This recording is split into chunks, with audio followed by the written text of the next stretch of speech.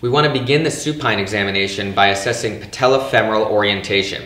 So we want to assess three tilts here, a medial lateral patellar tilt, an inferior superior patellar tilt, and an internal external patellar rotation.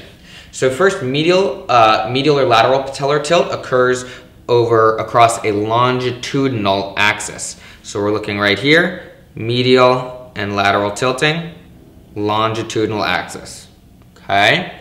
We also want to assess an inferior or superior tilt, and this occurs about a medial to lateral axis. So right here, the axis is medial to laterally, okay, the tilt anterior, sorry, rather superior, inferior. The last one is about an AP axis, an anterior posterior axis. We're going right through, okay? And here we're just looking for an internal patellar rotation or an external patellar rotation. And that's how we assess the patellofemoral orientation in supine.